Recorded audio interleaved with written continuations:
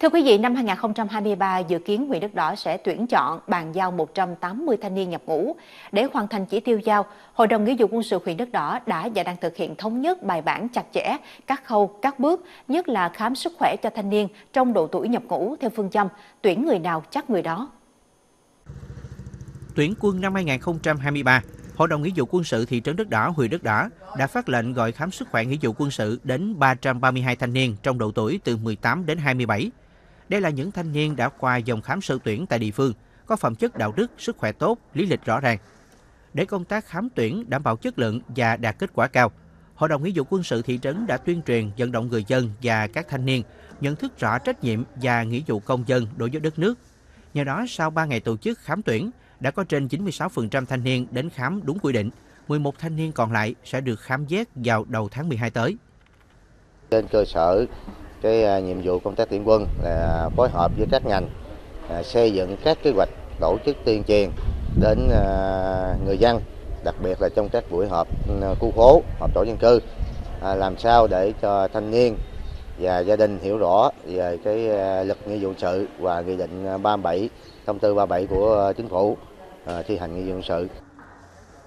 Tuyển quân năm 2023 huyện Đất Đỏ đã phát lệnh khám sức khỏe cho 1.045 thanh niên trong độ tuổi thực hiện nghĩa vụ quân sự và tham gia công an nhân dân. Năm nay, huyện tổ chức khám tuyển sức khỏe tại Trung tâm Văn hóa Học tập Cộng đồng xã Phước Hội và Trung tâm Văn hóa Học tập Cộng đồng thị trấn Đất Đỏ. Các thanh niên được khám tổng quát theo đúng quy định. Đại đa số thanh niên huyện Đất Đỏ đều có ý thức tự giác tốt, chấp hành nghiêm lệnh điều động. Đến thời điểm này, huyện đã tổ chức khám sức khỏe nghĩa vụ quân sự cho 683 thanh niên của 5 trên 8 xã thị trấn và 140 thanh niên đang theo học các trường đại học cao đẳng nộp bổ sung giấy xác nhận, đạt gần 79%. Nhận được ờ, lệnh ờ, khám sức khỏe thì em ờ, đã sắp xếp công việc và đến đúng thời gian để khám sức Em xin nghỉ một ngày để em đi khám, tại vì cái đó cũng là nghĩa vụ của mình, tới tuổi thanh niên phải đi nghĩa vụ vậy. Để mà tổ chức khám sức khỏe dụng sự năm 2023 này thì trung tâm y tế chúng tôi cũng đã phối hợp với phòng y tế với ờ, với, với ờ, bên thành đội quyền quyền đội đó là tổ chức vấn đề mà chuẩn bị nhân sự như là phân công anh em rồi quán triệt anh em trong công tác mà thực hiện nhiệm vụ áp dụng sự sao cho trung thực và, và trách nhiệm của mình. Ờ, thì còn vấn đề y các dụng cụ y tế thì trung tâm y tế chúng tôi đảm bảo. Với à, phương châm à, tuyển người nào chắc người nấy thì à, ban chỉ huy quân sự huyện đã tham mưu cho Hội đồng nghĩa vụ quân sự huyện ban hành kế hoạch khám sức khỏe để triển khai cho các thành viên của hội đồng. Vận động thanh niên chấp hành cái lệnh gọi khám sức khỏe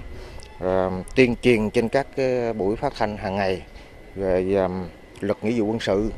và các cái nghị định thông tư hướng dẫn liên quan, đặc biệt là cái nghị định 37 của chính phủ quy định về xử phạt hành chính ờ, trong cái ờ, lĩnh vực quốc phòng Hội đồng nghĩa vụ quân sự huyện Đức Đỏ đang tập trung làm tốt công tác khám tuyển sức khỏe nghĩa vụ quân sự và công an nhân dân. Song song với việc tăng cường tuyên truyền luật nghĩa vụ quân sự, luật công an nhân dân, nắm chắc hoàn cảnh gia đình của các công dân đủ điều kiện nhập ngũ, kiên quyết xử lý nghiêm những trường hợp trốn tránh, chống lệnh gọi nhập ngũ,